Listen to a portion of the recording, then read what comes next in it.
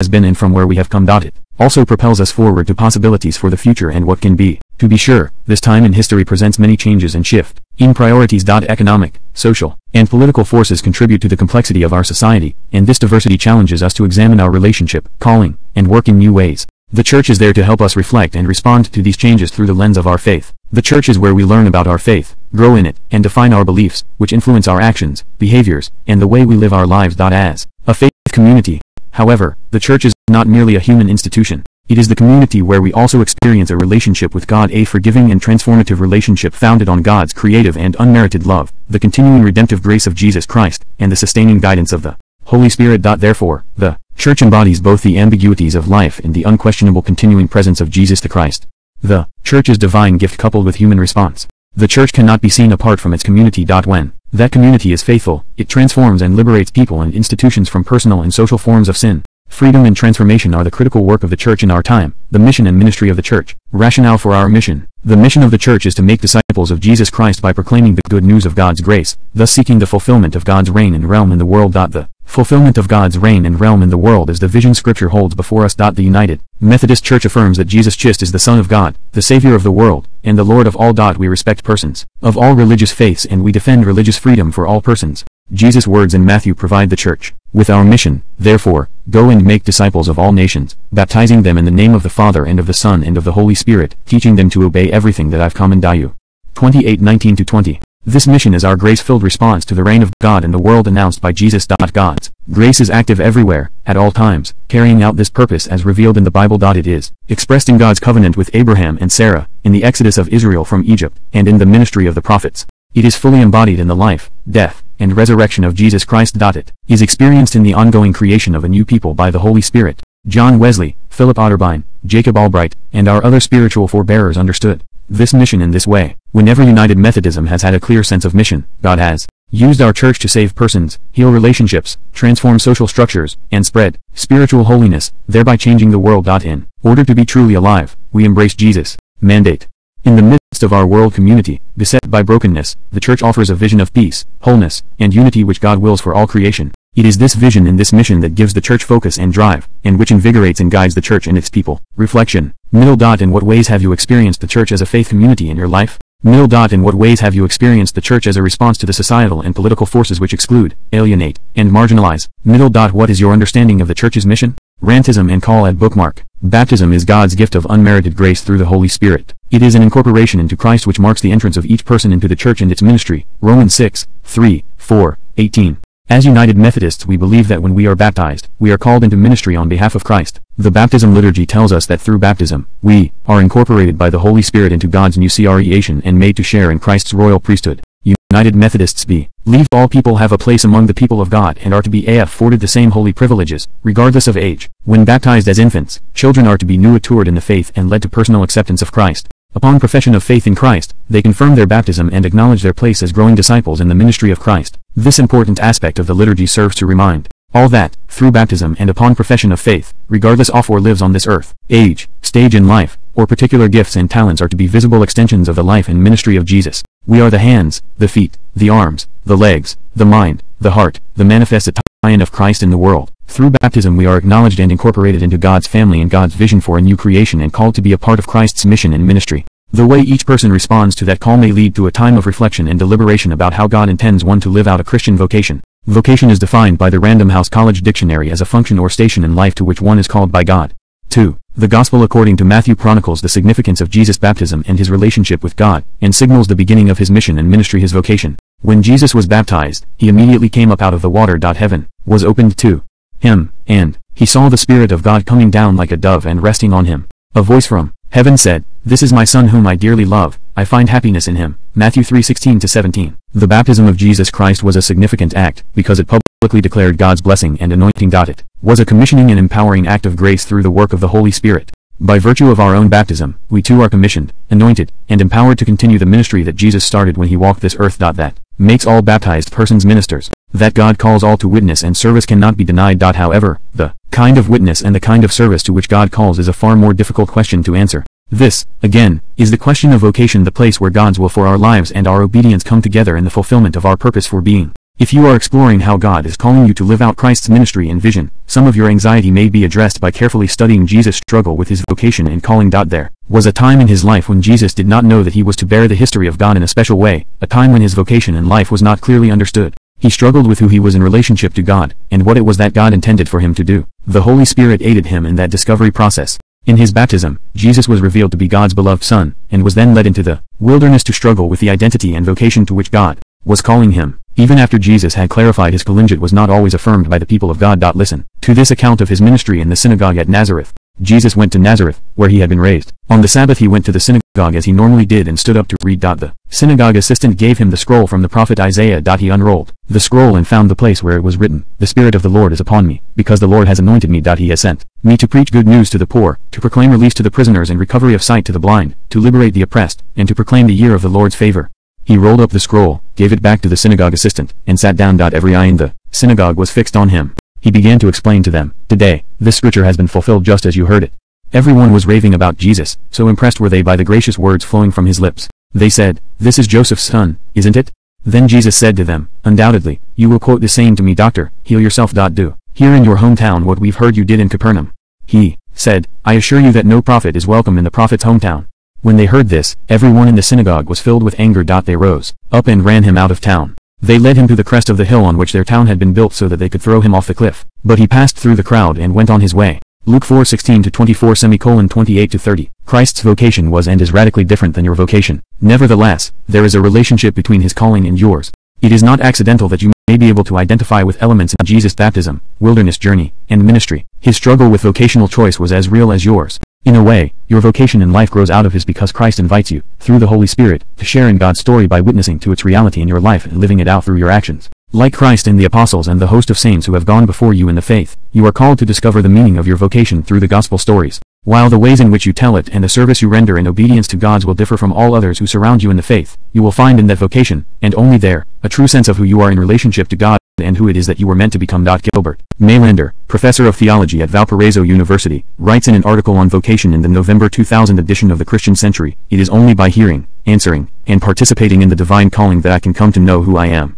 We are not who we think we are, we are who God calls us to be. Reflection. Middle dot as part of Christ's family, signified by your baptism. What does being a minister to the world in Christ's name mean to you? Middle dot what work would God have you do in the name of Christ, for the sake of the world? Middle dot to what kind of ministry might God call you that would require your total obedience? Vocation and servant leadership. Few people today enter the same occupation or line of work as their parents. Some drift into an occupation or follow the advice or pressure of parents or teachers or friends. The more deliberate may choose an occupation by considering what they do best or what they most enjoy doing.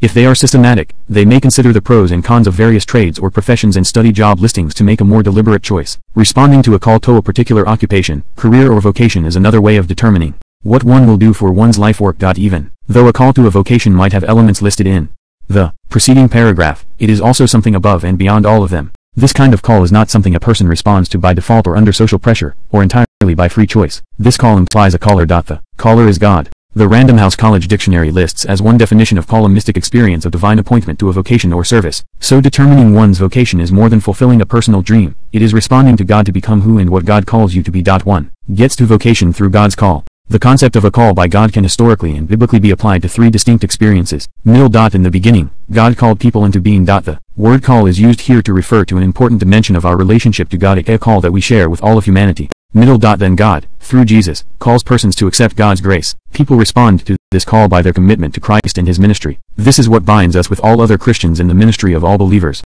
Mill. God also calls some to a particular form of servant leadership within the church. Empowered and guided by the Holy Spirit, these individuals respond to that call through a life-changing and often lifelong commitment to service and ministry. The distinction between these calls, particularly the last two, is important. Every Christian is called to follow Christ in her or his walk of life wherever he or she is the ministry of all believers. For those who respond to a particular form of servant leadership, the word call expresses something that is uniquely different for each individual and something that hopefully leads to a vocation which theologian Frederick Buechner described as where one's greatest joy meets the world's greatest need. Any type of call, sudden or gradual, needs time for reflecting, questioning and testing. To continue exploring your call and its meaning for your vocation, talk with your pastor or another United Methodist minister or church leader. The meaning of servant leadership. The United Methodist Church holds that servant leadership is at the heart of ministry and leadership, and that God's call to ministry is responded to by an individual, but confirmed by the church community. Those responding to a call to ministry, whether lay, licensed, or ordained, must embody Christ's teachings and demonstrate their gifts for ministry and promise for future usefulness. Some might argue that servant leadership is a contradiction of terms. In order to explore the role of the servant leader more fully, look at the origin of the use of the term in our society and reflect on the most exemplary biblical servant leader of all time Jesus Christ. The term servant leadership was coined almost 30 years ago, in the business world, by Robert K. Greenleaf, Director of Management Research at AT&T, during the time of the Vietnam War, the political corruptness of Watergate, and civil rights unrest. His inspiration for this conception came from a novel by Hermann Hesse, a German poet and novelist, called Journey to the East. In this story we see a band of men on a mythical journey. The central figure of the story is Leo who accompanies the party as the servant who does their menial chores, but who also sustains them with his spirit and his song. He is a person of extraordinary presence. All goes well until Leo disappears. Then the group falls into disarray and the journey is abandoned. They cannot make it without the servant Leo. The narrator, one of the party, after some years of wandering, finds Leo and is taken into the order that had sponsored the original journey. There he discovers that Leo, whom he had known first as servant, was in fact the titular head of the order, its guiding spirit, a great and noble leader. To Greenleaf, this story illustrated that the great leader is seen as servant first.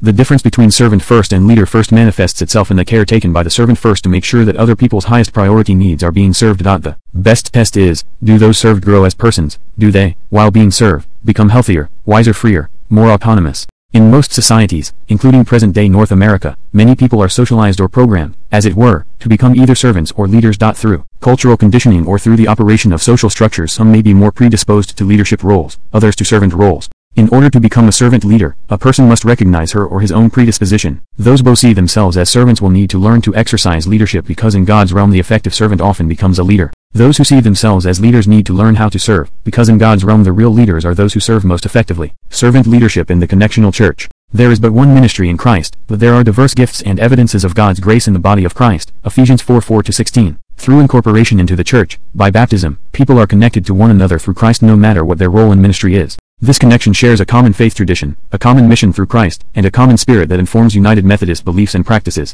The connectionalism of the church provides a system that enables congregations and other men, history settings to make disciples of Jesus Christ for the transformation of the world. Through this connection, the whole United Methodist Church is able to respond faithfully to its mission. The pattern for this connectional servant ministry is presented in the biblical beginning of the early church. In Acts 6, we see that the apostles led in prayer, teaching, and preaching and ordered the community's life. They also established leadership for the ministry of service and provided ways for those new in the faith to hear and learn the gospel. They developed a system to ensure that the concerns of the world would be cared for, and authorized certain people in the ministries of service. Our 18th century forebears in the faith reaffirmed the ancient Christian practices found in the early church even as they applied them anew in their own circumstances. Just as the early Christian Church affirmed many different avenues for service and leadership, the United Methodist Church affirms and makes available many expressions of lay, licensed, and ordained ministry as people respond to God's call within the United Methodist connectional structure. Reflection. Middle dot what means are you using to discover the life work or vocation that you believe God intends for you? Middle dot what are the ways you can lead people in your community or peer group to serve the needs that surround you? Do you feel that God may be calling you to be a servant leader? In what ways? Middle dot what are questions that you have about different categories of ministry? Chapter 2. Images of servant leadership. Young people in ministry everybody can be great, because everybody can serve. You don't have to have a college degree to serve. You don't have to make your subject and your verb agree to serve. You don't have to know about Plato and Aristotle to serve. You don't have to know Einstein's theory of relativity to serve. You don't have to know the second theory of thermodynamics and physics to serve. You only need a heart full of grace, a soul generated by love, and you can be that servant. The Rev. Dr. Martin Luther King Jr. God's call takes many forms and people hear God's call differently, therefore, people find many different ways to respond to God's call. Because we are called, God shows us places and ways to serve. The only requirement is being available to God and answering God's call. N. was traveling with his 6th grade confirmation class the weekend after the September 11, 2001, terrorist attacks on the world. Parents had been injured or killed, he suggested sending stuffed animals to these children as one way to provide comfort. Ben shared his idea with the other confirmation students and they decided to help. Members of the class talked with students at several local schools and announced the need for stuffed animals at church, through church mailings, and on the church website. For the next two weeks, stuffed animals were collected, both at the schools and at the church. When the class met to sort the toys and ship them to New York, they disc off aired more than 1,000 stuffed animals had been collected. They were given to law enforcement officers, social workers, and area churches to share with children most directly affected by the attacks. Age 16, Tiffany was the president of her youth group. She was a leader among her peers and also attended a number of church council meetings. Both youth and adult members of the congregation admired and followed Tiffany's leadership. One day, the pastor at her church asked to meet so that they could discuss Tiffany's ministry. At their meeting, the pastor said, I'm so glad that you've decided to be a minister. A look of concern crossed Tiffany's face. I never told Rev. Williams I'd be a minister. Tiffany thought. Doesn't she know one want to be a doctor? Besides, I'm only 16. I don't feel called to be a minister. Noticing Tiffany's confusion, Williams further explained, When we take our baptism seriously and follow God's call to be a disciple of Jesus Christ, we are ministers regardless of age, gender or our career plans. You may be called to be a pastor like I am, or your ministry may be in the hospital like you dreamed. Either way, I'm excited that you've been called to serve. S. Hannah boarded the plane to leave on her second trip to Zimbabwe. She couldn't help but reflect on what the last year had meant for her. During the summer between her junior and senior years in high school, she traveled to Zimbabwe with her church's youth group to work with children at the Fairfield Children's Home in Old Mutare, Zimbabwe. While at the orphanage Hannah played with the children, shared laughter and smiles with them, and developed relationships with the adult workers relationships that continued to make an impression on her once she returned to the United States. She knew she would return to Mutare. Hannah shared the story of her time in Zimbabwe with friends at her high school and soon decided to lead a trip back there so her friends could see and experience some of the same things she had. 18 other classmates and friends joined the group and they began preparations for their upcoming trip. Hannah organized the trip, made travel arrangements, and worked tirelessly helping the group to raise funds. She stayed in contact with the people at Fairfield and planned what the group would do during their visit. Additionally, she worked with her school administrators to establish an ongoing sponsorship program to provide needed food and medical supplies for the children. She learned a lot in the process and knew she was making a difference not only with the children at the Fairfield orphanage, but with her friends who would soon get to meet the people at Fairfield and experience Zimbabwe firsthand. She was excited to return and knew this would not be the last time she would visit. It is clear that Mary, the mother of Jesus, had no intention to be used by God in such an amazing way. It probably never crossed her UG mind that she would have a son who could be one of the teachers in the temple, or a traveling pastor. Not to mention that she would be an instrument to help change the world. Yet, when God called on her to carry and give birth to Jesus, her response was, I am the Lord's servant. Let it be with me just as you have said. Luke 1:38. Without ordination or formal education, Mary, at a young age, answered God's call to serve. Servant leadership is both a gift and task. God's grace comes to us as a gift through our response to serve. At the same time, we know that we are being called to a demanding task. When you join the church, you answer a call from God. You say yes to God's grace, to becoming part of a community of Christians, and to serving others on behalf of Jesus Christ. Reflection. Middle dot what image comes to your mind when you ask how is God calling me to respond as a baptized Christian? Middle dot how have you led in your community, whether in school or another setting? Middle dot what experiences have you had that influence the way you answer a call from God which may lead to a vocation in the church? Middle dot visit www.explorecalling.org for information on calling and identifying your spiritual gifts. The ministry of the laity. The call. The heart of Christian ministry is to share Christ's love in the world. The ministry of the laity is a frontline ministry because lay people have direct access to the community and the world through their jobs and activities. All of the people of God are called to be faithful in their ministry. Church. Members are the church made visible in the world and are called to share the gospel of Jesus Christ within and beyond the church community. This responsibility cannot be delegated nor can it be evaded. If Christians are not faithful in ministry, the church will lose its impact on the world. As members of the body of Christ, we are all are gifted for service and have received different gifts for ministry. There are different spiritual gifts but the same Spirit. 1 Corinthians 12:4. It is liberating to realize that each one of us is called to ministry and that each one's ministry is just as important as the others. It is essential to re-always this important fact and live out ministry as we have been gifted and called whether it is in the factory, or the hospital, at work or at home, in the church, or in the community. Christ has called and we answer by serving to the best of our ability. Privilege and responsibility. The call to ministry is both a privilege and a responsibility. We are privileged to be in relationship with God. It is a privilege to be part of a holy nation, a people who are God's own possession. Those called to ministry are called to speak of the wonderful acts of the one who called us out of darkness into his amazing light. 1 Peter 2:9. And, it is a privilege to speak of God's wonderful acts. It is also a responsibility. Christians respond to God's call by holy living and obedience to Christ. Holy living inspires intentional growth and nurturing. Each must continue to grow spiritually, to mature in the Christian life in order to fully engage in the ministry of all Christians. John Wesley established the general rules for the societies who met together to pray, worship, and watch over one another in love. These rules included ways to accomplish the task of loving and serving others. First, by doing no harm and by avoiding evil of every kind. Second, by doing good of every possible sort, and as far as possible to all persons. Third, by attending upon all the ordinances of God which are the practices by which we stay connected to God, grow in faith and in the ability to love the means of grace. See General Rules, Book of Discipline. What does servant leadership look like in an everyday life? Here are a few examples. Almi is a nurse who has felt God's call on her life. She lives out that call in her work every day trying to treat her coworkers, supervisor, and patients the way Jesus would treat them. She goes out of her way to perform acts of kindness and she offers to pray for people she meets who are hurting. Outside the workplace she seeks ways to grow spiritually through prayer, Bible study, and worship, and to develop the sense of call in her life. Because of her deepened spirituality she has the courage to pray with patients and coworkers as well as for them. She volunteers to visit church members who are homebound or in the hospital. She has started a prayer ministry in her church to help others realize the power and importance of prayer. Ryan works as an electrician. He finds ways to befriend others, share his faith story, and invite them to church. Brian is obedient to Christ in his daily life by showing concern for his fellow workers. He refuses to cut corners or be dishonest with his employer. Brian walks the talk. Outside of work he is active in prison ministry and serves as a volunteer at the local prison in order to make a difference in the lives of the inmates and prison personnel. At church he leads a team to provide a free community Christmas meal. He also leads mission trips within the United States and to other countries where he uses his skills to work with members of these communities as they build affordable housing for residents. F has a full-time job as wife and mother. Her ministry in daily life is providing nourishing meals, clean laundry, and living conditions for her family. She sees this as her service to God and her vocation. She leads in her district and annual conference where she teaches classes to help other laity improve their leadership and ministry skills. She encourages people to be involved by using their skills to serve others. This has led many people to serve in community ministries such as serving lunch at the boneless shelter or delivering meals on wheels. Beth wants others to feel welcome in her church so she often serves as a greeter at worship services. E is an accountant who ministers in his work by using ethical practices in his company and dealing honestly with his employees and clients. He devotes time in the community to coaching a Little League baseball team and serves as an example to other coaches of Christ's love for children. As a member of his church's finance committee, Lee tries to ensure that the meetings are more than church business by encouraging holy conferencing and Christian fellowship. Hull is part of a weekly covenant group that prays for each other and holds each other accountable for their discipleship. All of these people are in vital ministry. They demonstrate servant ministry and leadership in their daily work lives, their families, communities, churches, and in the world. Now when the human one comes and his majesty and all his angels are with him, he will sit on his majestic throne. All the nations will be gathered in front of him. He will separate them from each other, just as a shepherd separates the sheep from the goats. He will put the sheep on his right side, but the goats he will put on his left.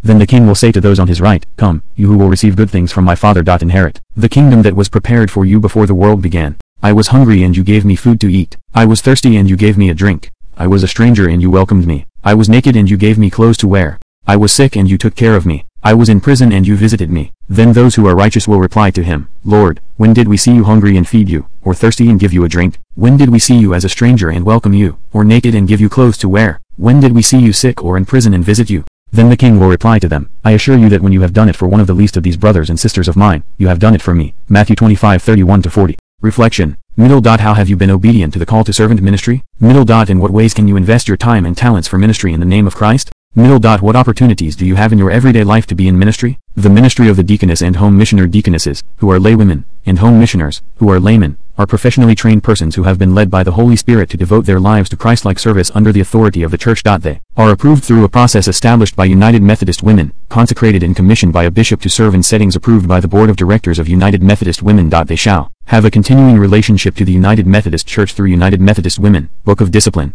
the office of deaconess was first authorized in 1888 by the General Conference of the Methodist Episcopal Church and was subsequently authorized in each of the predecessor organizations that now compose the United Methodist Church. It offered laywomen the opportunity to serve in a lifetime relationship of servant ministry. The relationship of home missioner was created by the 2004 General Conference, and provides laymen with this same opportunity. Deaconesses and home missioners function as a lay diaconal order within the United Methodist Church. They serve in diverse forms of service directed toward the world to make Jesus Christ known in the fullness of his ministry and mission. The ministries of deaconesses and home missioners focus on middle alleviating suffering, middle eradicating causes of injustice and all that robs life of dignity and worth, middle facilitating the development of full human potential, and middle sharing and building global community through the Church Universal. Full-time service is the norm for those who serve as a deaconess or home missioners. This means that one's entire vocational time is devoted to the work of ministry where one is appointed by the bishop. Deaconesses and home missioners form a covenant community that is rooted in scripture, informed by history, driven by mission, is ecumenical in scope, and global in outreach. These are laity who have responded to God's call in their lives and are consecrated and commissioned to be in a lifetime continuing relationship with the United Methodist Church. They are appointed to full-time ministries of love, justice, and service in a church-related vocation or helping profession. Deaconesses and home missioners serve in a diversity of contexts including prisons, healthcare facilities, schools and universities, church agencies, shelters, and community centers. Their ministries encompass a wide range of social justice concerns including environmental justice, immigration, poverty, homelessness, peace with justice, refugees, women and children, youth and families, and senior adults. Deaconess and Home Missioner, Ministries of Love, Justice, and Service. OSA has been involved with a drop-in center for more than a decade and now serves as its executive director. The center is a day shelter for people who are homeless, offers a food pantry, and also has staff who provide case management and advocacy services for clients in need. She heard God's call to service when she was young but did not know how to respond. Her pastor preached on God's call and she realized she had been denying God's call in her own life.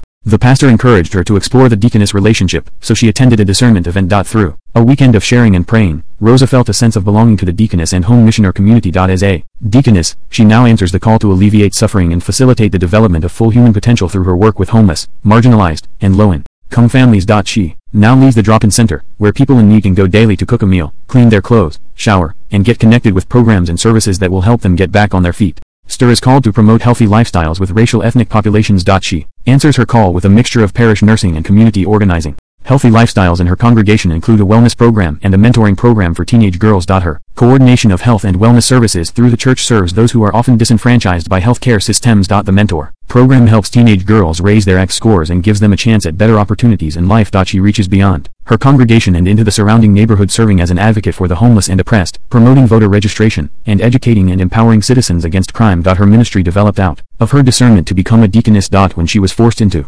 early retirement, she found new life through the deaconess and home missioner community where her gifts for public health service were celebrated and lifted up as an answer to God's call. Orge is a home missioner who was working with the university agricultural department. Upon seeing how much food rotted in fields after large mechanical harvests, he felt called to start a new ministry that would get that surplus food to people who needed it. He has now organized his own ministry with gleaners and volunteers who harvest this food and donate it to food banks, soup kitchens, and local food pantries. His ministry distributes an average of 82,000 pounds of fresh vegetables each year. Just as important as providing healthy, nutritious food for the hungry, George is building relationships with farmers and volunteers so that excitement and passion for this ministry will continue for years to come. Ani is a chaplain and coordinator of pastoral care for a large hospital. What she looks forward to most are her daily visits with patients. She helps them adjust to hospital routines while easing pain, loneliness, and anxiety. It is a great privilege to be a part of these patients' lives while they are in the hospital. She credits her current sense of fulfillment in living out her call to her discernment process prior to becoming a deaconess. It was through that process that her interest in medicine was reawakened and she found a connection between her seminary training and hospital chaplaincy. She knew she had answered her call when she felt an all-encompassing peace. Because she is living out her calling, she finds that God provides courage, energy, and wisdom to support her in her ministry. Ara ministers through music. She serves in two ministry settings, in a hospital and in a residential treatment facility for veterans. For those patients in the hospital, her music provides comfort and therapy in times of pain and healing. Her ministry with veterans is equally as rewarding. She teaches piano and guitar, helping those who are learning for the first time or becoming reacquainted with the instruments after their time in service. As part of her teaching, she organizes opportunities for her students to perform and lead sing-alongs in the waiting rooms of the nearby Veterans Hospital a setting that is familiar to most of them. They embrace these opportunities to begin giving back to others while they are still healing from the physical and emotional wounds of war. OWN coordinates volunteers for a large relief organization responsible for helping those who have been affected by natural disasters. A retired civil engineer, this is his second career. It was during a mission trip to Honduras that John heard God's call to ministry and relief missions. It was an experience that opened his eyes to God's glory, and he is committed to helping others have similar experiences. When an elderly gentleman shares with him a profound experience from volunteering, he knows he is answering God's call for him as a home missioner.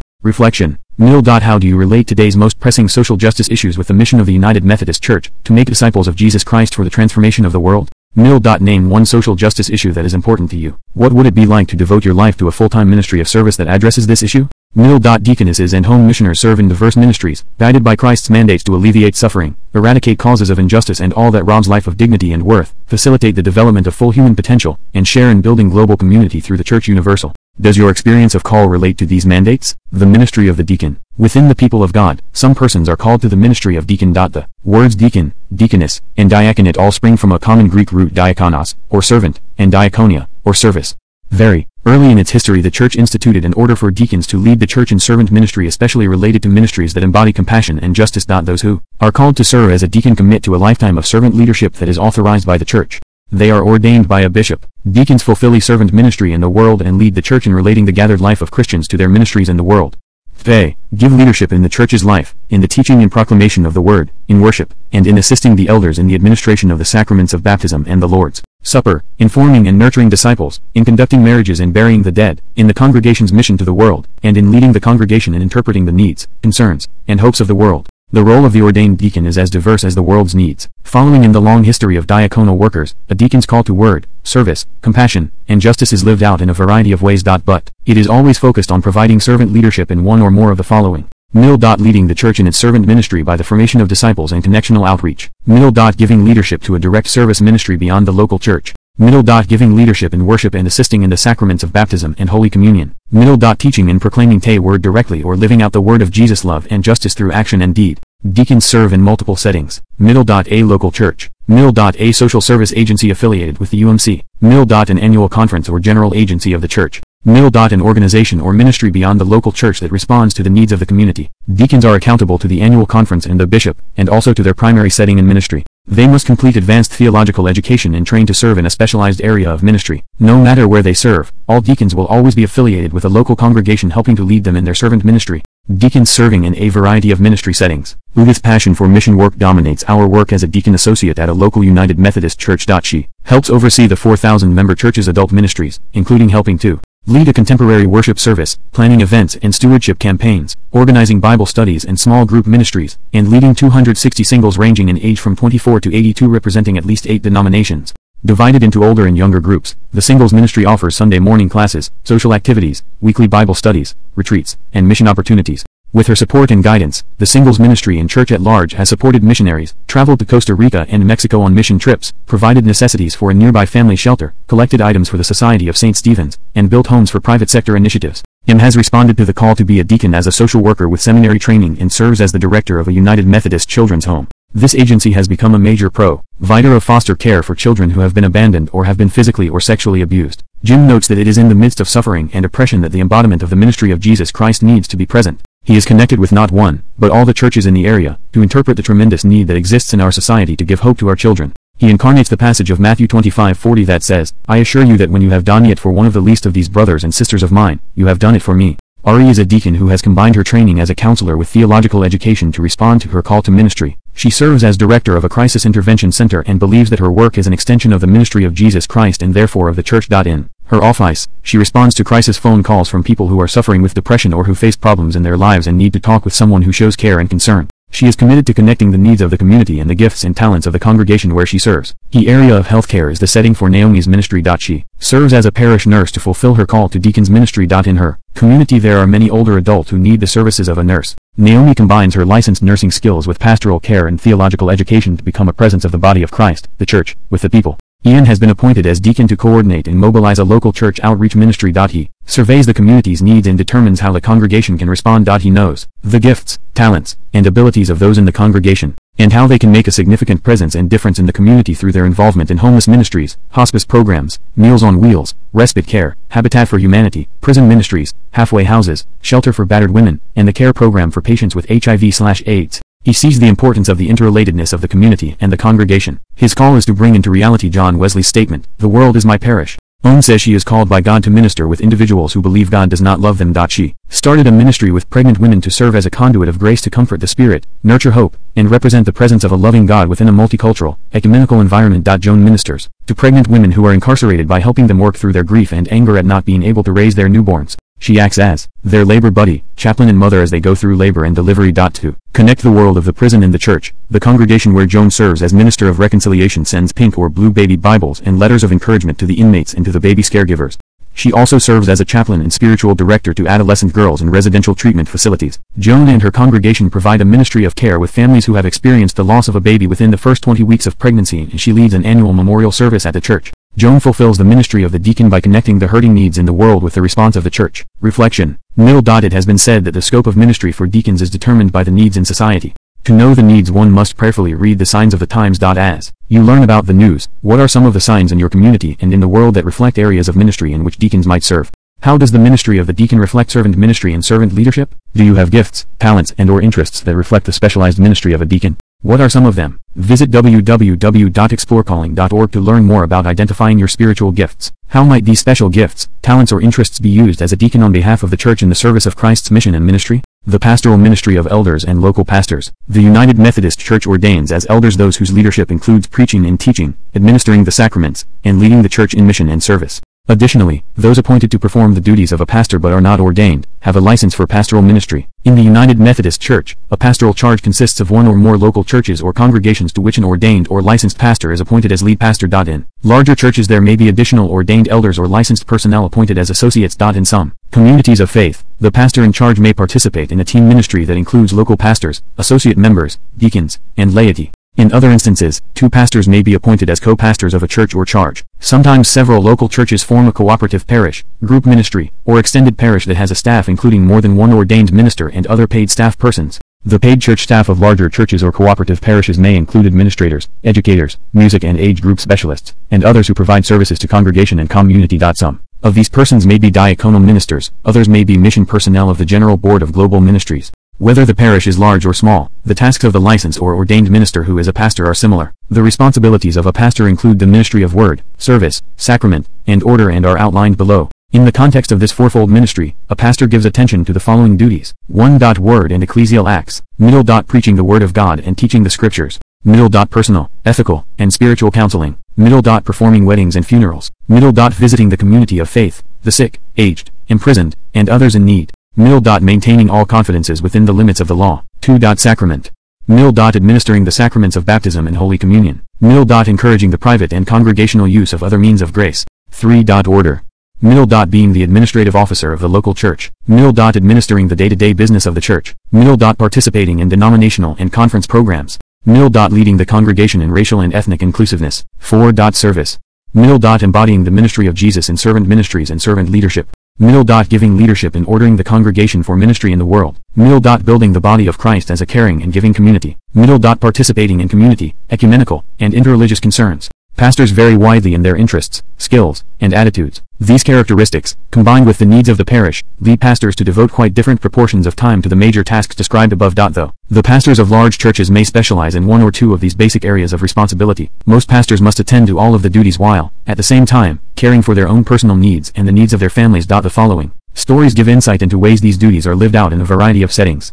A Journal of Pastoral Ministries. Unday Sunyoung is a recent seminary graduate appointed as an associate pastor of a large suburban church. She was up earlier than usual this morning because it was one of the few Sundays of the year that she would preach at the 8.30 a.m. and 11 o'clock a.m. worship services. Normally, her participation in worship is limited to the reading of scripture or a prayer. Though, preaching, she still led a young adult class during the Sunday school hour and met with the youth in the evening. At the end of this busy day, Tim, a leader in the youth group, wanted to discuss how to help a friend with a problem. Unday a clergy couple, Doug and Sandy, are assigned to a rural circuit. After breakfast, they worked on the worship plans for the coming Sunday and reviewed their busy schedule for the week. While Sandy read some background material for her sermon, Doug prepared a column for the church newsletter. Their work together was cut short when Sue came by to ask Doug's help in finding a convalescent home for her 86-year-old mother. After lunch, Sandy visited several members in the hospital, while Doug contacted the director of a United Methodist home to find out what options were open to Sue and her mother. After dinner, Doug had a meeting at church, while Sandy relaxed after a busy day. Tuesday, Rod is the pastor of a growing urban African-American congregation. Early in the morning, he was out of the parsonage sitting on the bench at the bus stop talking with people as they left for work. By discovering who they were and what they did, he had an opportunity to do some street counseling and introduce them to the ministry of the church. By 8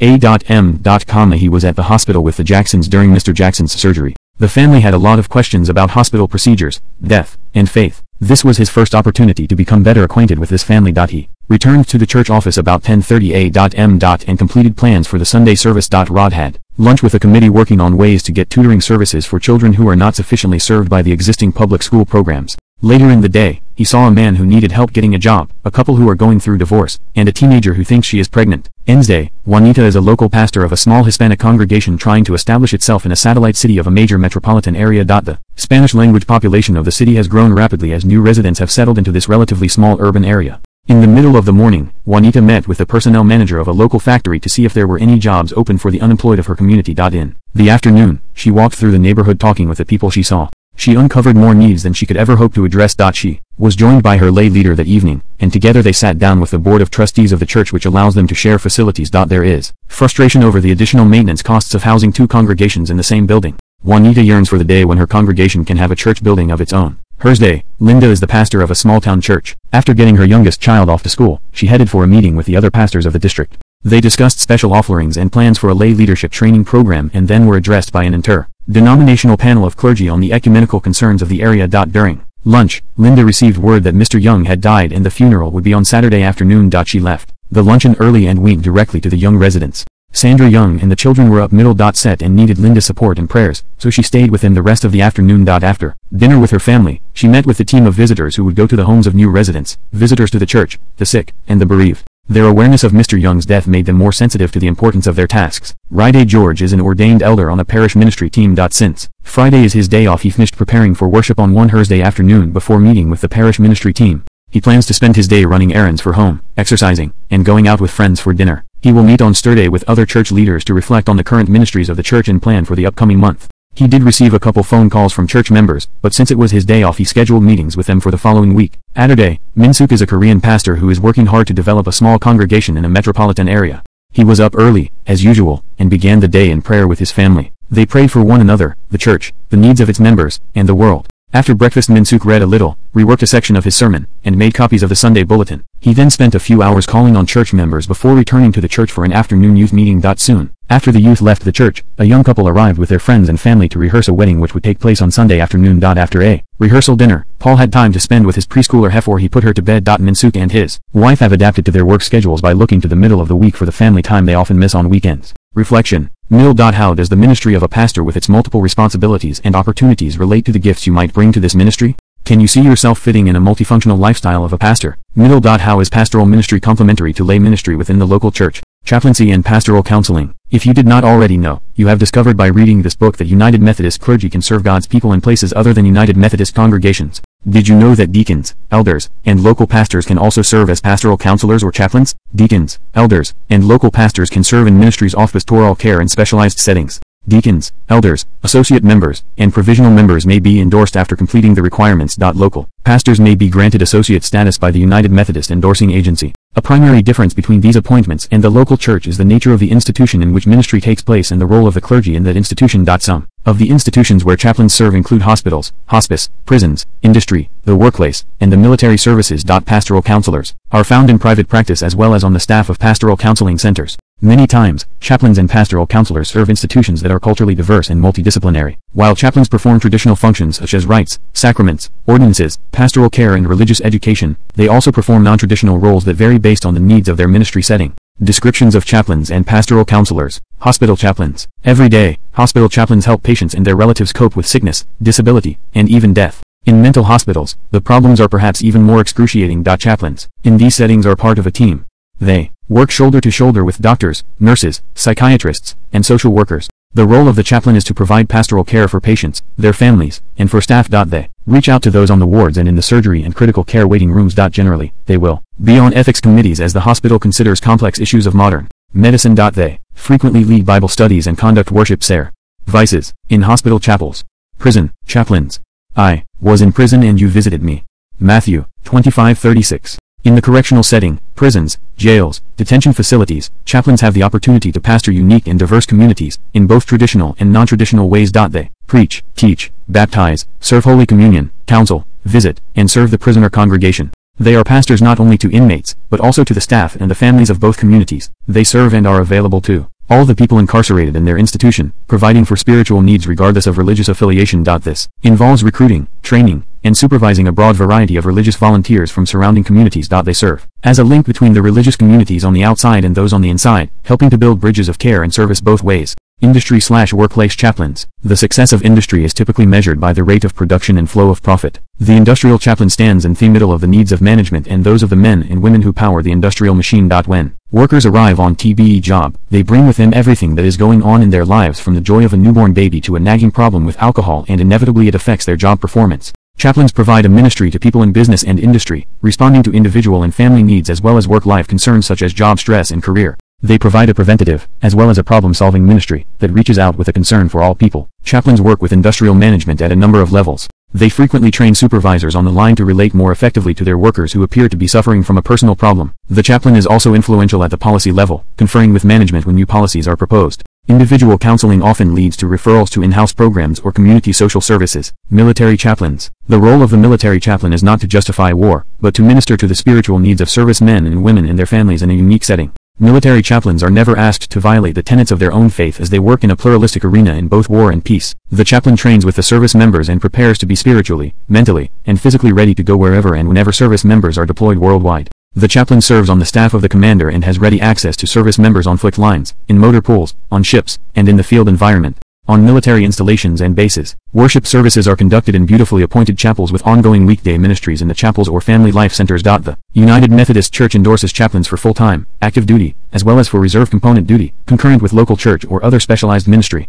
Pastoral counselors. While it is true that all pastors counsel people, pastoral counselors endorsed by the United Methodist Endorsing Agency have undergone additional specialized training so they can integrate resources of scripture and faith with insights from the behavioral sciences. Pastoral counselors serve on staffs of local churches, in pastoral counseling centers, in healthcare institutions, or in private practice. The uniqueness of ministry endorsed by the United Methodist Endorsing Agency. Clergy endorsed by the United Methodist Endorsing Agency operate in culturally and religiously diverse settings. They serve people who may or may not be United Methodists. Yet strangely, there is identification with the chaplain or pastoral counselor if he or she is credible and relevant to the needs of the individual within that institution. Many times, the ministry takes place with clergy from other faith groups such as Roman Catholic, Jewish, Muslim, Orthodox, or other Protestants. Each chaplain is required to provide religious support which consists of rites, sacraments, ordinances, pastoral care, and religious education within their faith group, or to coordinate for someone else to accommodate a belief system that conflicts with their own. Chaplains are expected to be both pastoral and prophetic to the institution. Sometimes, chaplains are required to advise the institutional leadership on ethics and the impact of decisions on people. Unlike the local church, coordinating resources for ministry is done within the administrative processes of another institution. The coordination may require securing a place for religious activities, funds, and other resources such as transportation, supplies, equipment, and even permission for people to be free to attend certain events. Reflection. Middle dot do you sense a call to chaplaincy or pastoral counseling? What type of ministry interests you? Middle dot what specific gifts, training, education, and work experience do you bring to the unique requirement of this specialized ministry? Are you flexible enough to accommodate religious pluralism and work within distinctively diverse cultures slash organizational systems? Higher education collegiate ministry. Settings and personnel. The United Methodist Church is in ministry on many college and university campuses in the U.S. These represent many kinds of ministry settings. Mill. Some are Wesley Foundations or Wesley Fellowships United Methodist Collegiate Ministry sites funded in large part by annual conference budgets. Mill. Others are ecumenical ministries, cooperating in the name of United Methodism with one or more denominations that share funding responsibilities. Some collegiate ministries are staffed by chaplains at United Methodist related or other private universities and colleges, these are funded by the school itself. Middle. Some are ministries established by one or more local congregations. They may meet at a local church or elsewhere near campus. They may be staffed by campus ministers who also serve a congregation. At independent or church-related colleges and universities, the chaplain may be part of the Student Affairs Office or the Religion Department. Or, the chaplain may report directly to the presidents of FICE. Church-related institutions usually provide on-campus space for the chaplain's office and activities.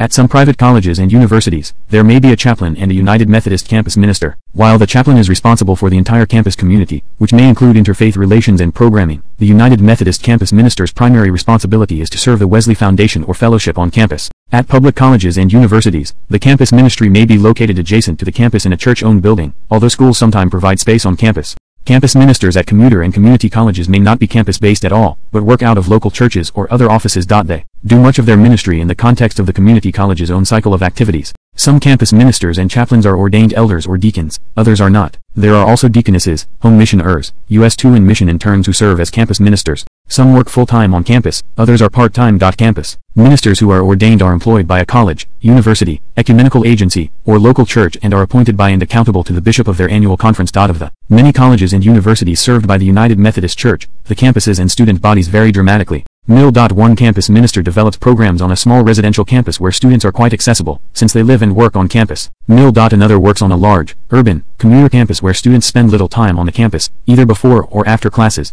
Mill. Still another may serve a sprawling university campus where students of all ages have a variety of lifestyles and live in a variety of situations, both on campus and off. Mill. A chaplain may work on a large private university campus where students, faculty and staff represent multiple faith traditions. Mill. Another may work on a smaller United Methodist related college campus where a majority of the students are Christian. The ministry on the campus. For all these settings, ministry with students is a central emphasis, but campus ministers and chaplains are also concerned with faculty, staff, and administrators. As the name implies, collegiate ministry is a ministry to the whole campus, and encompasses many models for relating to everyone affiliated with college and university campuses. Collegiate ministry could be 200 people gathered for a weekend conference examining sexuality from sociological, psychological, and theological perspectives. It could mean a lively discussion about religion and the arts, or about religion and the anatomy lab. Collegiate ministry could be a small group of students gathered late on a weeknight for prayer and Holy Communion at a nearby United Methodist church. Here are other examples of how collegiate ministers are engaged in ministry. He's a first semester student, new to the campus. She is isolated, lost, and agonizing over whether to quit and go home.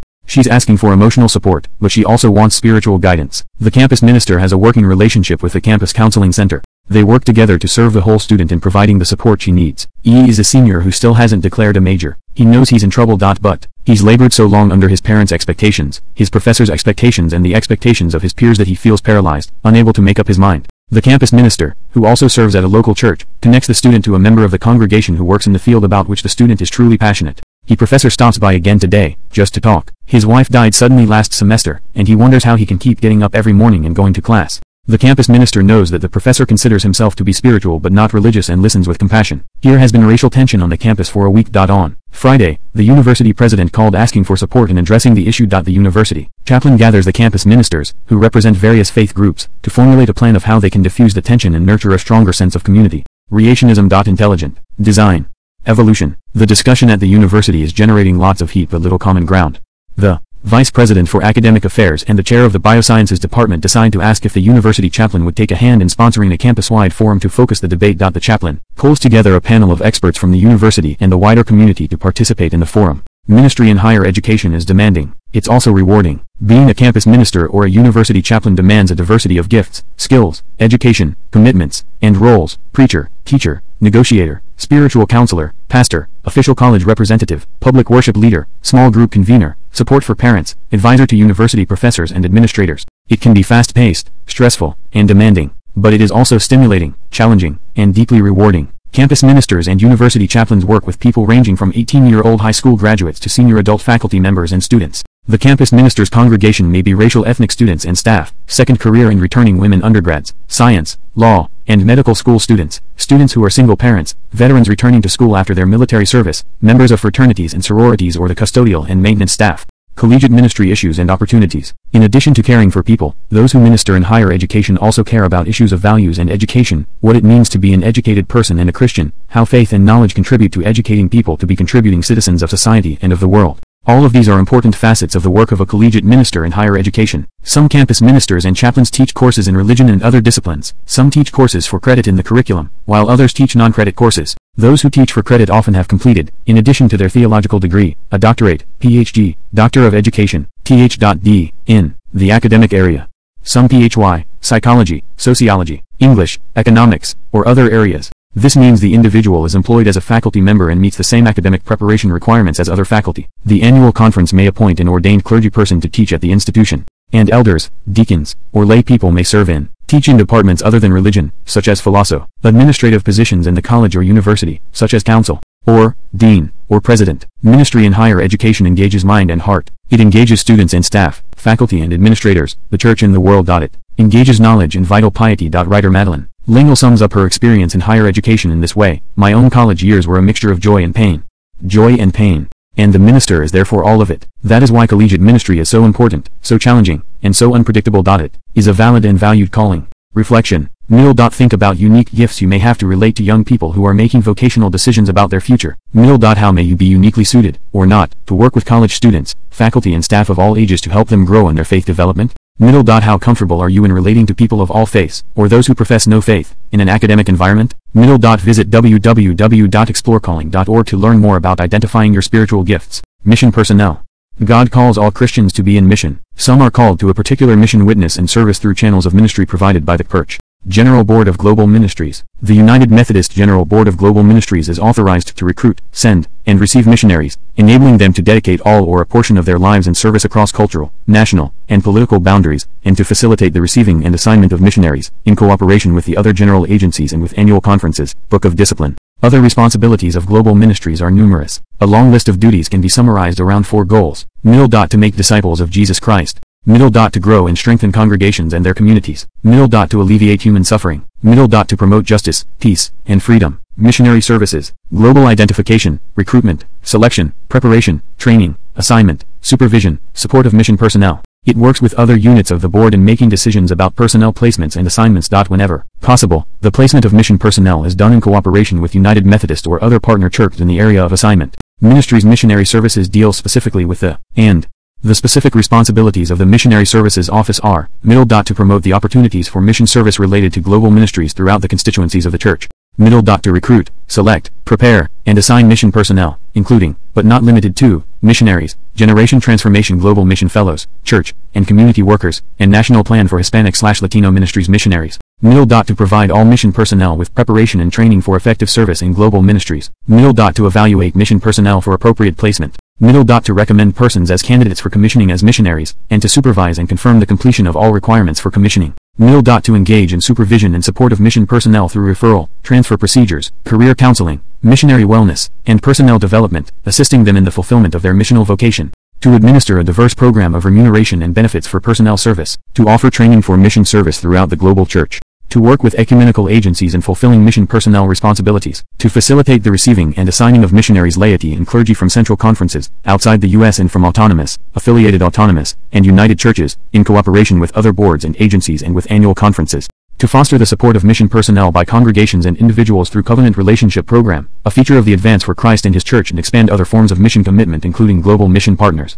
Mission service types and categories. There are three primary types of relationships between mission personnel and the General Board of Global Ministries. Middle. dot Commissioned personnel are missionaries, and others with whom the Church has established a covenant involving the laying on of hands for mission service. Middle. dot Non-commissioned personnel have not entered into a covenant but serve in a variety of capacities and locations. Middle. dot Nationals and mission are mission personnel of central conferences and partner churches outside the United States that the board helps to support. Commissioned personnel. Missionaries.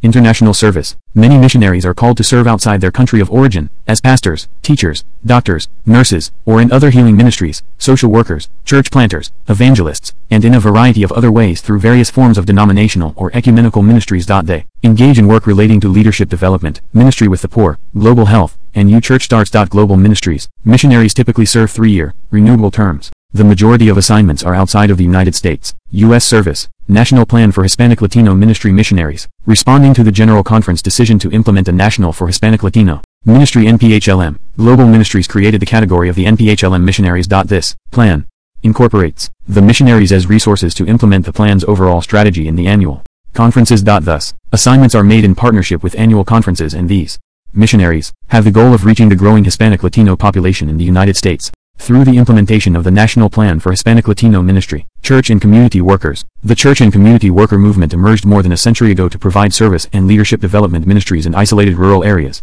Today church and community workers work to uplift the poor and disenfranchised in rural and urban areas, primarily in the United States. Workers are assigned to cooperative parishes, ethnic ministries, criminal justice ministries, congregational health ministries, cooperative ministries, mission institutions, immigration services, and rural and urban ministries. Some are deaconesses or home missioners. Both clergy and laity may serve in this mission category. Young adult missionaries Generation Transformation Global Mission Fellows program is a leadership development and mission service opportunity that allows young adults aged 20 through 30 to take part in mission and social justice ministries in both international and domestic contexts. It encourages participants to live out the transforming gospel of Jesus Christ by engaging with and learning from communities that are working for personal and social holiness and systemic change. The program builds upon Global Ministries' historic U.S. 2 and Mission Intern programs, and is now open to young adults outside of the United States to participate in mission service abroad and in their own home country. Global Mission Fellows serving internationally participate in a 25-month cycle of service approximately 23 months internationally followed by 2 months of integrating their international experiential learning into their domestic setting. Global Mission Fellows serving within their home country engage in mission service for two years with United Methodist Partner Organizations. Fellows, serving in their own country explore their ministry and its relationship within the larger national and global context of mission. This will be available to those in the U.S. through a revised version of the U.S. 2 program. Other domestic service opportunities are being developed in other countries. Non-commissioned personnel the category of non-commissioned personnel covers groups and people with ties to the General Board of Global Ministries, but who are not in covenant relationships. They may be engaged in time-limited projects or provide support services. One group, community, developers, operate from local bases but form a network that the board services. Mission volunteers are not considered mission personnel, and the church provides no compensation or benefits for them. The United Methodist Church and its annual conferences in the U.S. offer a wide variety of volunteer mission opportunities for both teams and individuals and volunteers perform extremely valuable mission service. Every annual conference has a volunteer and mission coordinator and the annual conferences work cooperatively with the General Board of Global Ministries through the Mission Volunteers Program area. Nationals and mission are mission personnel from partner churches outside the United States, serving in their own or another country. They serve in a variety of positions involving education, health care, leadership training, reflection. Middle dot through global ministries, lay or ordained people, beginning as young adults, can respond to the call to mission service, in short-term service or lifetime commitment, in many different positions, and in many different locations. How would you describe this callus different from every Christian's call to servant ministry? What gifts, skills, and interests could you bring to any of the multiple ways that one might be in mission service on behalf of the church either nationally or internationally? Chapter 3. Steps into servant leadership. Maybe you are exploring how God wants you to live your life. You may be beginning to think about vocational choices, or you may be experiencing a strong inclination toward a particular occupation or profession. You read in chapter 1 that coming to a place where God's intention for you and your gifts and talents match is a powerful indication of God's vocational call to you. Perhaps you do not feel any special calling, particularly to ordained ministry. However, you may be wondering what it might mean for you to respond as a baptized Christian to servant ministry. The question is not whether you are called. The question is how is God calling you to serve? Those answering a call to licensed or ordained ministry are considered clergy. Servant leadership of other Christians is considered ministry of the laity. Whether your vocation and career choice leads you to serve in lay or ordained ministry, listen to God's voice, seek wise counsel, do your own study and reflection, and follow the direction in which you are led. Middle. Talk with your youth minister, your church pastor or other church leader, your campus minister or chaplain. Meet with a peer group and adults you respect who are engaged in a type of ministry that interests you. Seek honest feedback from people who know you well and can help you identify your gifts and talents. Read and reflect about the categories of service in this book. Explore different websites such as www.explorecalling.org and www.chem.org slash candidacy to find out about more about Christian vocation, how to answer God's call in your life, and identifying your spiritual gifts. Above all, talk to God, listen to God, and wait for and respond to God's direction. Opportunities for young people for servant leadership. Middle dot if you feel called into ordained ministry, talk with your pastor or other clergy person about steps to exploring this call. See pages 76 to 78 for steps into ordained ministry. Middle dot if you feel called to serve in ministry with young people, there are opportunities, such as internships and shadow programs that give you a chance to learn from others in children's, youth, campus ministry, or missions. Talk with church leaders to see if these opportunities are available at your church. Middle dot churches often sponsor regional camps that hire college-age students to be on the ministry staff during the summer of 10. These camps need counselors in training, as well, and hire older high school students for these positions. Contact your region's youth or camping ministry director to learn more. Consider the following as you make a vocational choice. Your gifts What spiritual gifts do you have to offer the church? What do you do well? What do you enjoy? If you enjoy writing, offer to write a prayer for the congregation. If you are friendly and enjoy meeting people, offer to serve as a church greeter. If you are a good leader, volunteer to be an officer for your youth or college group. If you like to make speeches, consider training to become an official lay speaker. You may want to consider asking your pastor about gifts discovery inventories to help you identify what your gifts are. Whatever your gifts, discover ways the church can use them, or visit www.explorecalling.org for more information. Your passion what really motivates you. Maybe you see a homeless person and want to make a change. Maybe you read about genocide in foreign countries and want to help stop it. Or maybe you're tired of hearing about young people being bullied and hurting each other. How is the church responding? What ways could the church respond? How might you get involved or lead the movement yourself? Social justice ministries are important to the life of the church. Your daily living think of ways you can incorporate what you know and learn from your faith into your daily living. You know you are empowered to live as Jesus lived. What does that mean in how you treat your friends and peers? How does that shape your response to your family? Remember, that the way you live is a ministry in itself. Your career path Have you already started thinking about your profession? As you choose your career, think of ways you can serve God in what you do. You may want to consider a career in the church. Churches sometimes need teachers for church schools. Conferences usually have communicators who write for newspapers, oversee website development, and work with the media. Some congregations have parish nurses, and many churches hire business administrators to oversee the finances and business end of running a church. Think about how to shape your career as a service for God. Your devotional life whatever ministry role you take, you must be prepared and fit for leadership. Taking Bible study courses and or carving daily time for reading scripture, even if just for 5 minutes, will better prepare you for your ministry. Your prayers be steadfast in prayer about what ways God can use you. Ask for guidance from God and be still to listen for God's direction. Ask others to pray for you as you discern what leadership you will take as a minister. Steps into laity leadership. The leadership of the laity has a long history in the United Methodist Church. While Methodist pastors rode the circuits, it was the leadership of the lay members of the societies that kept the congregational ministry going. Beginning steps. A good beginning step, if you feel you may be experiencing a call to serve, is to complete a spiritual gifts inventory. Study and reflect upon how your gifts, talents, and strengths may be used in ministry and or in your daily life, community, and church. Take some time to consider your passion. What inspires you? What areas of mission or ministry excite you? What issues in the church or community bring you the deepest concern? When you use your spiritual gifts in conjunction with an area of ministry that you are passionate about wonderful things can and do happen.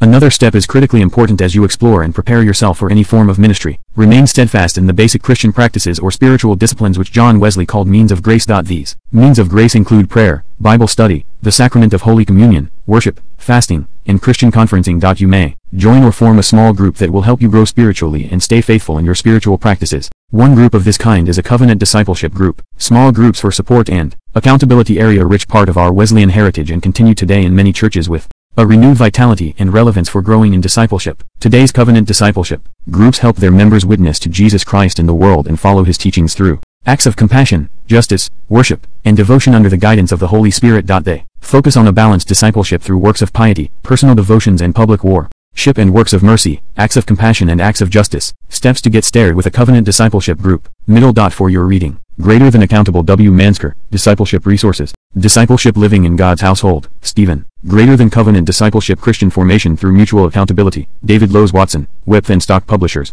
Mill. After reading the recommended books, meet with your pastor to discuss introducing covenant discipleship groups to the congregation. The step-by-step process is found in Forming Christian Disciples The Role of Covenant Discipleship and Class Leaders in the Congregation by David Lowes Watson. Mill. If covenant discipleship groups are part of your congregational disciple formation process, tell your pastor that you want to join a group. If there is no room in existing groups, then form a new group. Middle. Go to www.glad.org slash covenant discipleship to find more information on covenant discipleship groups, opportunities and steps for servant leadership. Class leaders. Class leaders led the laity of the early Methodist Church in developing their discipleship. Today, class leaders may be commissioned and classes may be organized to help form faithful disciples of Jesus Christ. Today, class leaders meet weekly with a covenant discipleship group and have been commissioned by the congregation in consultation with the pastor. A class leader is given pastoral responsibility for 15 to 20 members of the congregation who want to grow in their discipleship. The class does not meet. The class leader helps them grow in discipleship through regular visits, telephone conversations, email, social media, and post. Class leaders help members of their class grow in discipleship by practicing the general rule of discipleship, to witness to Jesus Christ in the world and to follow his teaching through acts of compassion, justice, worship and devotion under the guidance of the Holy Spirit. Class leaders join in partnership with the appointed pastor in the work of making disciples of Jesus Christ for the transformation of the world. The pastor meets monthly with the class leaders. If you feel called to use your gifts in this way, middle. Assess your spiritual gifts. The gifts of teaching and leadership are helpful for this ministry role. Middle. Study the role of class leader by reading 117.2.c, 2012 Book of Discipline. Read Class Leaders Recovering a Tradition, David Lowes Watson, Discipleship Resources, Ministry Area or Committee Chair. Leading within the congregation as part of a ministry team, committee member or committee chair is another form of servant ministry or servant leadership for lay people. Resources to help you. Middle. Participate in a spiritual gifts study to determine your spiritual gifts or complete a spiritual gifts assessment. Middle. Share the results of your spiritual gifts assessment with your pastor and or the chair of the lay leadership committee. Read a copy of the guidelines for leading your congregation, available from Cokesbury, for the area or committee of interest to you. Make your interest known to the pastor or nominating committee in your congregation so your name may be considered in this way. Lay member to annual conference. Lay members to annual conference have the responsibility to represent their congregation at annual conference and help interpret the actions and activities of the annual conference to their congregations. To consider this servant leadership position, Mill. You must be a professing member of the United Methodist Church for two years and active in the United Methodist Church for four years. Mill. Lay members to annual conference are elected by the charge conference of your church. Lay leader. Lay leaders function as the primary representatives of the laity in the local church, district, or annual conference to which they are elected. The role of lay leader is not only to represent the laity, but also to support the pastor. In correlating positions, the district lay leader supports the district superintendent, while the conference lay leader supports the bishop. Laity in these roles can be prayer partners and share in mutual ministry with the clergy leaders. Steps to take include, middle. Assess your spiritual gifts. The gift of leadership is helpful for this role in the church. Middle. Lay. Leaders must be professing members of the local church and are elected by the charge conference of that church. Middle. Read the lay leader slash lay member guidelines, available from Cokesbury, to discover the responsibilities and considerations for the role of lay leader in the local church. Mill. It is a good option for lay leaders to consider becoming certified lay speakers, lay servant. Exhorters in the early Methodist societies challenged and encouraged the members in their Spiritual growth. After a sermon by the pastor an exhorter would give practical applications of the sermon to the society members. The term exhorter was eventually replaced by lay speaker. The role of lay speakers expanded well beyond pulpit supply into various types of leadership ministries and spiritual formation. In 2012 the General Conference approved legislation to change the name of this leadership development program to lay servant ministries. A lay servant is a professing member of a local church or charge who is ready and willing to serve the church and who is well informed on and committed to the scriptures and the doctrine, heritage, organization, and life of the United Methodist Church and who has received specific training to develop skills in witnessing to the Christian faith through spoken communication, church and community leadership, and caregiving ministries. Lay servants serve in their local church, or with additional training, serve beyond their local church in other churches, the district or the annual conference. Lay servant training is no longer focused on preaching. There are many more courses on other areas of ministry, mission, and spiritual formation.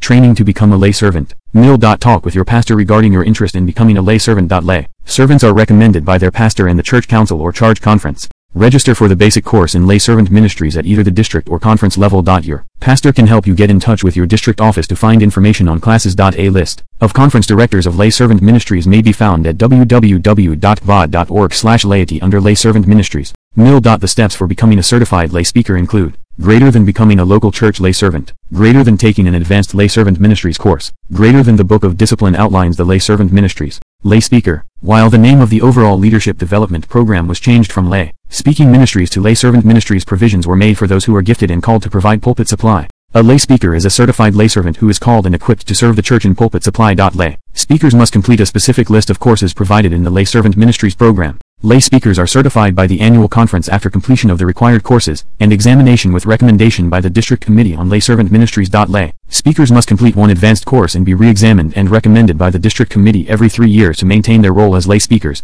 Lay missioner Lay missioners are committed lay persons, mostly volunteers, who are willing to be trained and work in a team with a pastor mentor to develop faith communities, establish community ministries, develop church school extension programs, and engage in congregational development. All lay missioners must follow the guidelines established by the National Committee on Hispanic Ministries of the National Plan for Hispanic Ministries and may be certified by their annual conference. Lay missioners may be either Hispanic or non-Hispanic and must follow the guidelines found in the National Plan for Hispanic Ministry. Steps to become a lay missioner. Mill. Be an active participant in a local congregation of the United Methodist Church or the Methodist Church of Puerto Rico and demonstrate an appreciation for United Methodist doctrine and tradition as well as a knowledge of and commitment to the National Plan for Hispanic Ministries. Mill. Dot understand, appreciate, and affirm the existing Hispanic culture in the United States. Mill. Dot receive the recommendation of the pastor or appropriate committee of the local church in which you participate. Mill. Dot complete modules 1 and 2 of the training program. Certified Lay Minister. Since its inception, Certified Lay Ministry has grown from providing pastoral leadership in small congregations to including service as an assistant to the pastor in larger churches, leading congregational care and health ministries, lay chaplaincy, starting house churches, partnering in new church planting efforts and other varied leadership positions within the church. Go to www.bod.org to find more information. Steps to become a certified lay minister. Middle. Become a certified lay speaker or complete equivalent training. Middle. dot Study the guidelines for certified lay ministry in the Book of Discipline. Middle. dot Study and demonstrate an appreciation for UM history, polity, doctrine, worship, and liturgy through service in your local church. Middle. dot Receive the recommendation of your pastor and voted approval of the church council or charge conference. Middle. dot Complete the courses recommended by the General Board of Discipleship and the General Board of Higher Education and Ministry. Middle. Dot submit to appropriate screening for ministry. Middle. Dot receive the recommendation of the district superintendent. Middle. dot Apply in writing to the district committee on ordained ministry. Mill. Appear before the District Committee on Ordained Ministry for review and approval. Certified Professional Lay Ministry. Lay people serving in the church can enhance their learning and increase their knowledge and skills to become more effective workers in their areas of service. Certification in various areas of ministry within the church is available. These include Christian education, youth ministry, music, evangelism, camp-slash-retreat ministry, spiritual formation, and older adult ministry. See pages 85 to 86 for steps into certification for specialized ministry. Leaders at any level set an example for others to follow. People will look to you as a leader,